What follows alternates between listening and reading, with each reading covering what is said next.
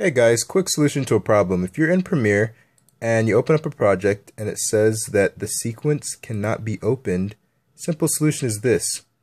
Say you've been editing on a project for uh, whatever amount of time. Cancel out of that project, which you can't open anyway, and just click on Adobe Premiere again and create a new project.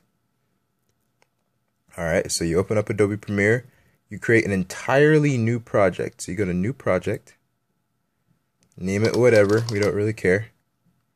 Or you would name it what you'd want to name it. For this case, we're just going to name it some random. And then what you're going to do is you're going to go to File, and then you're going to go to Import. Usually you do import when you're importing footage, but you can actually import projects as well. What you're going to do is you're going to click on the name of the project that wasn't opening. So let's say it was uh, this final pro this project called Final Color. Open it up.